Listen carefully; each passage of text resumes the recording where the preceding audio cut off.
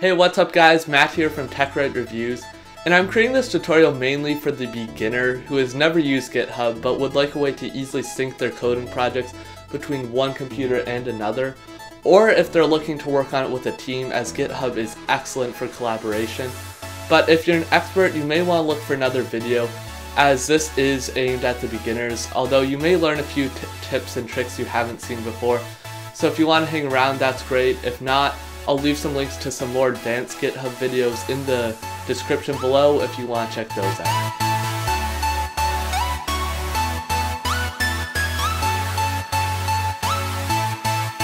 So in its most basic form, with GitHub you create a repository, and you can think of that as a project. It's kind of the home base where all of the project code gets synced through.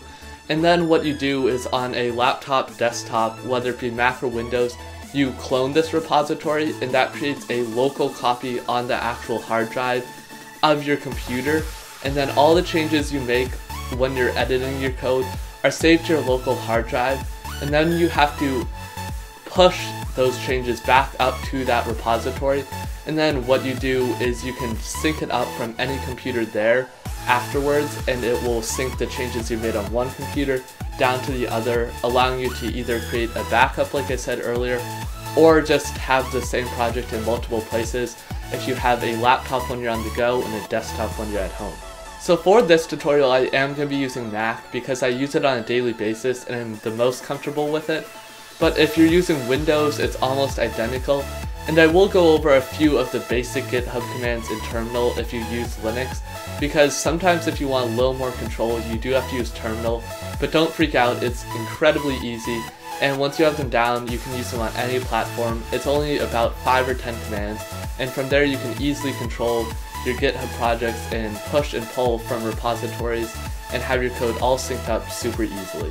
So once you've got your computer all started up, you want to go into your web browser and search for GitHub for and then put in Mac or Windows depending on what you're using. Once you do that, go to the website and click on the download link and it is a slightly large file but once it's downloaded all you have to do is install it. It should only take a couple seconds to download and after that simply double tap on Mac and it will install. It'll prompt you to move it to the applications folder and you probably want to do this so you don't have to re-download it every time. After you click that, it'll take a second but then it will move itself to the folder and automatically restart. Next, hit continue and if you don't have a GitHub account, you can sign up here. There's a little link down below the login and once you have that you can simply sign in.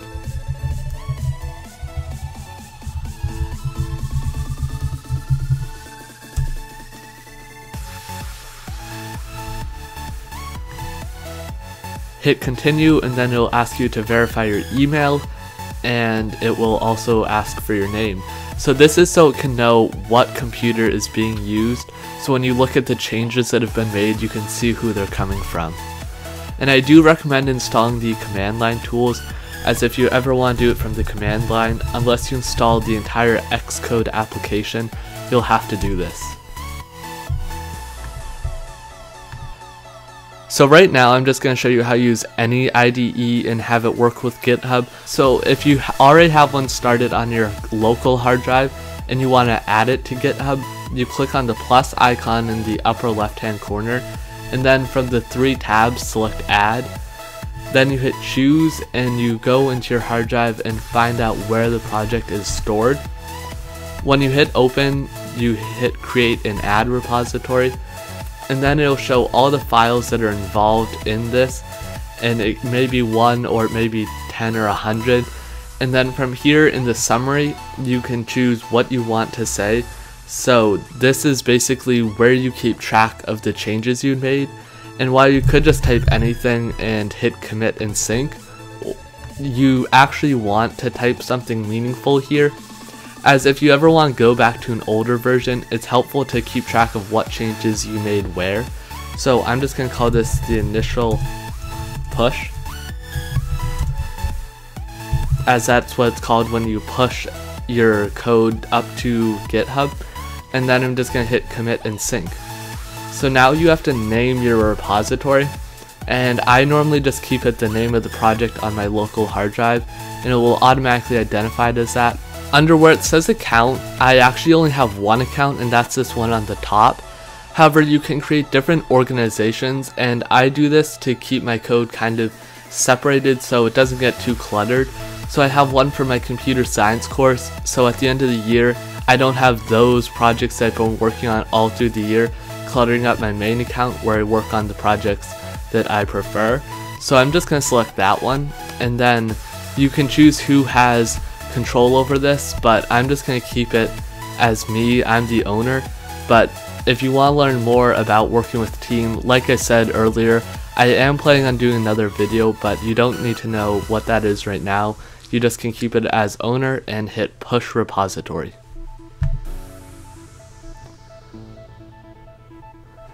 So now you can see it's pushed to GitHub and now I'm going to hop over to my other computer and show you how to clone this and how what it looks like really when you're syncing code between two different projects. So once you've pushed that to the cloud and you've got GitHub set up on your other computer, you once again go to the plus, but from here you're going to go to clone and then you can see all of the repositories you have. This is all of the ones on your account or organizations you're a part of and then you can select it and hit clone. From here it asks you where you want to clone it to and once you've selected that location you simply hit clone and then your project is synced. Now if you're working in Eclipse like I normally do you can open up Eclipse and then from here you can import it.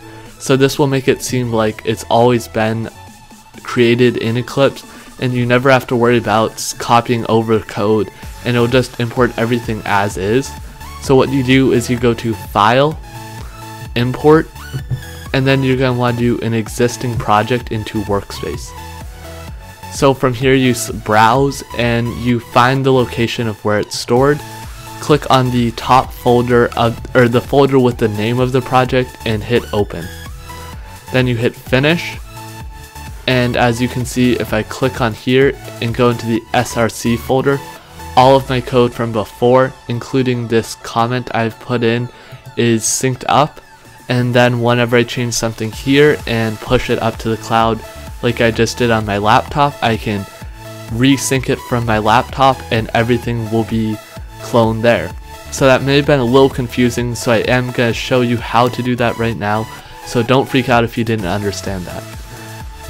So right now I am on my desktop computer and if I add a line of code, I'm just going to make another comment. And then I save the project. And then I go into GitHub. And as you can see, it recognized that this file right here has been modified. So what I'm going to do is type in the summary of what's changed it, of what has changed. And I'll just say I added a comment. And then I can hit commit and sync and once that bar has completed in the upper right hand corner, if I hop over to my laptop and open up the GitHub application, I simply hit the sync button in the upper right hand corner and then I go back into my project and you can see that automatically the comment I just made on my desktop has already showed up here and this works back and forth, it will sync as much code as you need. Between. As I mentioned earlier in the video, you can also do everything through the command line, and while this may not be as quick always, you can do a lot more things with it. So I'm just going to show you the same basic things such as pushing and pulling repositories and seeing what the status is. So I'm not really showing you any more than you can do with the app, but I'm just showing you a different way to do it if you prefer. So the first command you need to learn is cd, and this isn't actually a GitHub command, but it just means change directory because before you can start using the GitHub commands, you have to navigate to where your project is. And the way you do that is cd, and then you can type in the name of the subfolder until you reach where your project is. And if you don't know what subfolder you need to go to, you can also just type list, and it shows you all the subfolders within the folder you're already in. And I misspoke earlier, you don't actually type list, you just type ls. So from here I know I need to go under my developer, so I type cd space and then the name of the folder. And if you know the path directly, you can just do forward slash and continue doing that until you get to the project. And when you're typing, everything is case sensitive, so be aware of that. I mistype, but if you type everything right, once you do that, you can see that I now am in the developer folder and these are the subfolders. So I'll once again change directory to the subfolder where my repository is located and as you can see it is listed there as Graphics Lab 5. So once I've done that I need to actually go into that folder so once again I'll do cd and graphics lab underscore 5. So at this point, if you haven't already installed the command line tools, simply just type in git and hit install. So once it starts downloading, it'll only take a few minutes depending on your internet speed, but it's a lot faster than installing the entire Xcode application. But if you already have that installed, these will already be here and you don't need to install them. Okay, so once that is completed installing, it did take a little longer than I planned, but it will eventually install so just wait for that to finish and then you can resume this video. So now if you type something such as git status, it will show you that my branch is up to date with the origin master and this origin master is the copy of my project that GitHub is storing on its servers. So now if I actually go into my project,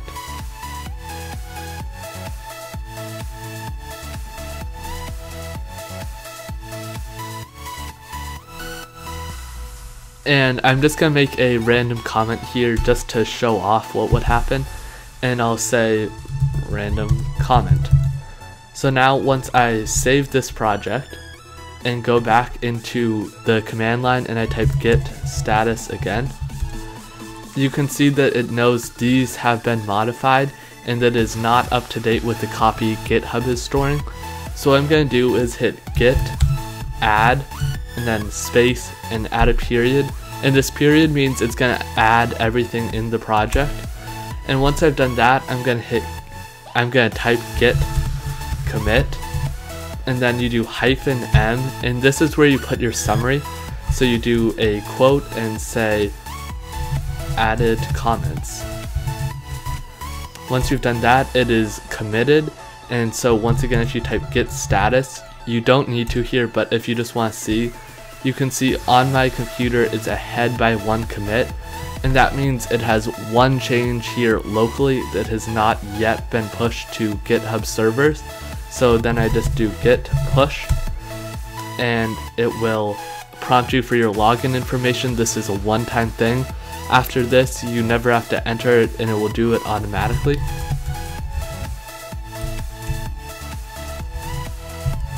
And when you're typing your password, it won't show up, but that's just something with command line so no one can see how many characters your password have to make it so much more secure, but just type it out and hit enter. And this is what it looks like once you've pushed it, and now if I type git status once more, you can see it is up to date and this change that I've made in my project right here has been synced to GitHub servers and can be cloned to any other computer. So obviously here I was just adding a comment, but it could be anything, whatever you're adding, it works the exact same way. And if you know those few basic commands i just showed you, you can push and update all your repositories from anywhere. And I'll leave a list of those four or five commands I just used in the description if you either didn't see them on screen or just want a reference you can create. So thank you guys for watching. I hope you did enjoy this video. It doesn't cover everything about GitHub, but should be enough to get you syncing your projects between multiple computers. And in the future, I'm thinking about doing a video how to do more collaborative work with GitHub, as it is incredibly useful if you ever are working on a project with a team or just a couple friends and you're trying to make a cool app. So make sure to like, subscribe, and I'll see you guys in the next video.